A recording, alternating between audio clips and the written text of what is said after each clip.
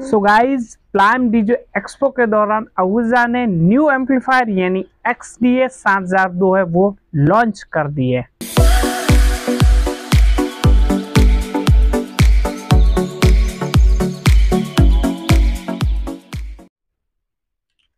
Hello friends एक बार आपका फिर से हमारे चैनल पर बहुत बहुत स्वागत करते हैं। सो फ्रेंड्स आज के इस वीडियो में अवूजा की इस एम्पलीफायर का फुल करने वाले रिव्यू इस एम्पलीफायर की क्या प्राइस रहने वाली है? इस एम्पलीफायर का क्या डेम्पिंग फैक्टर रहने वाला है? तो फ्रेंड्स ये हमारी एम्पलीफायर है सो मैन फॉर बेस के लिए ही बनाई गई है। तो इस एम्पलीफायर पर है कितने वाट के बेस है वो सला सकते हैं। और गई ये हमारी अवूजा की है, सबसे हाई पावर की एम्पलीफायर भी रहने वाली है, और एडवांस टेक्नोलॉजी वाली ये भी एम्पलीफायर है।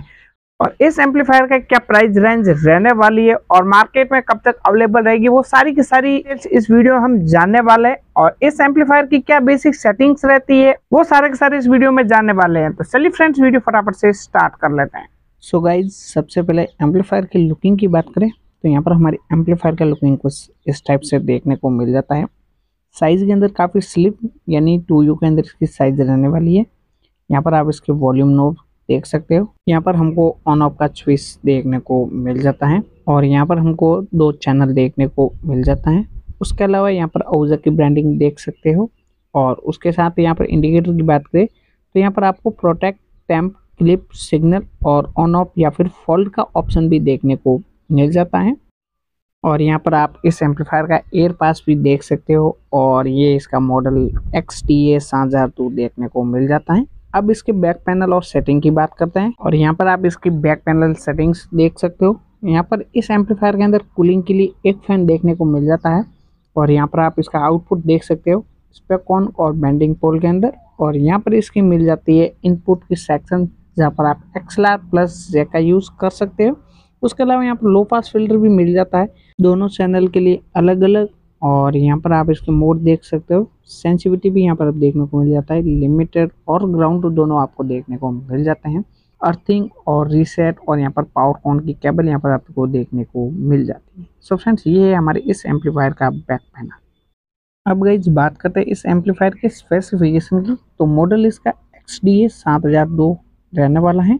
ये हमारी सात हज़ार वाट की पावर एम्पलीफायर है। और इसका एट ओम्स पर जो पावर है, वो यहाँ पर 1350 वाट पर चैनल से निकाल कर देती है।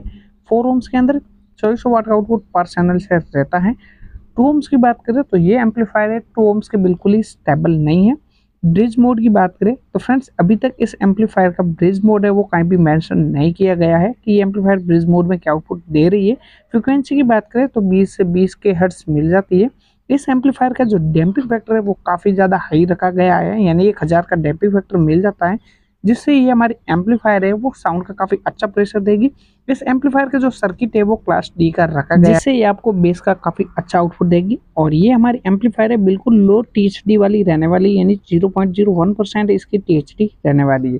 और इस एम्पलीफायर का वेट है वो यहाँ पर साढ़े इक्कीस के जी के अप्रोक्स इसका वेट रहने वाला है। यानी ये हमारी एम्पलीफायर है, बिल्कुल लाइट वेट वाली रहने वाली है। इस एम्पलीफायर के फीचर्स की बात करते हैं तो ये हमारे friends dual channel class T की एम्पलीफायर रहने वाली है। ये हमें सौ सौ प्लस सौ सौ वाट का आउटपुट देने वाली है, जो पर्सनल से रहने वाला है। फोर रूम्स के ऊपर ये 80 हर्ट्ज और 120 हर्ट्ज की लो फास्ट फ्रिक्वेंसी हमें देती है, जो सिलेक्टेबल है, आप ले सकते हो। बिल्ड इन लिमिटर दिया गया है इसके अंदर ऑन ऑफ़ के लिए जो इसके सर्किट के लिए बचाता है। इस एम्पलीफायर के अंदर toroidal transformer power supply use की गई है और इसमें दो इनपुट सेंसिटिविटी दी गई है जो आप सिलेक्ट कर सकते हो। साथ ही इस एम्पलीफायर के अंदर soft start short circuit thermal protection over voltage ये सारे के सारे फीचर्स इस एम्पलीफायर के अंदर मिल जाते हैं। सो so गाइज़ ये है इस एम्पलीफायर की फुल डिटेल और यहाँ पर स्पेसिफिकेशन और एम्पलीफायर का लुकिंग और इसके बेसिक सेटिंग्स सो फ्रेंड्स अब बात करते हैं कि इस एम्पलीफायर पर हम कितने वाट्स के बेस है वो चला सकते हैं। सो so फ्रेंड्स ये हमारी एम्पलीफायर है, वो फोर ओम्स और एट ओम्स के लिए रिकमेंडेड रहती है। तो यहाँ पर फ्रेंड्स आप बेस्ट इसका ऑप्शन रहता है कि आप इस एम्पलीफायर को फोर ओम्स के लिए यूज़ कर सकते हैं। तो फोर ओम्स के लिए ये 1200 1200 यानी सौ सौ वाट का आउटपुट रहता है पर चैनल से तो वो आप यहाँ पर सौ सौ वाट तक का ले सकते हैं। लेकिन यहाँ पर फ्रेंड्स मैं आपको सजेस्टिंग करने वाला हूँ आउजा का एस डब्ल्यू एक्स छब्बीस तो यहाँ पर 1300 प्लस 1300 छब्बीस वाट तक का बेस रहने वाला है। यहाँ पर फ्रेंड्स चौबीसो वाट प्लस यहाँ पर छब्बीस वाट के अंदर ज़्यादा डिफरेंट नहीं रहता है, लेकिन ये एम्पलीफायर इस बेस को भी बड़े आराम से चला लेगी। हालाँकि फ्रेंड्स अवूजा के इस बेस के लिए यहाँ पर एल एक्स सी सब मौजूद है, लेकिन फ्रेंड्स ये हमारी क्लास डी की एम्पलीफायर है और हाई डेम्पिंग फैक्टर यानी एक हज़ार का डेम्पिंग फैक्टर के साथ में ये एम्पलीफायर है। तो इसके लिए फ्रेंड्स आप अवूजा का एस डब्ल्यू एक्स बेस है वो ले सकते हैं। अब गई बात करें इस एम्पलीफायर की प्राइस की कि क्या मार्केट के अंदर प्राइस रेंज रहने वाली और कब तक ये अवेलेबल हो जाएगी। सो फ्रेंड्स कंपनी का यही कहना है कि ये अगले एक मंथ या डेढ़ मंथ के अंदर है, वो मार्केट के अंदर अवेलेबल हो जाएगी। इसकी प्राइस है फ्रेंड्स वो अभी खुलकर पूरी तरह से सामने नहीं आई, लेकिन अहूजा की एलेक्सेस छह हज़ार वाट की जो एम्पलीफायर है, उसके मुकाबले ये इसकी प्राइस है, वो रहने वाली है। तो फ्रेंड्स ये है अहूजा की इस एम्पलीफायर की फुल डिटेल और फ्रेंड्स आज के इस वीडियो में इतना ही। मिलते हैं हमारे अगले नेक्स्ट वीडियो में।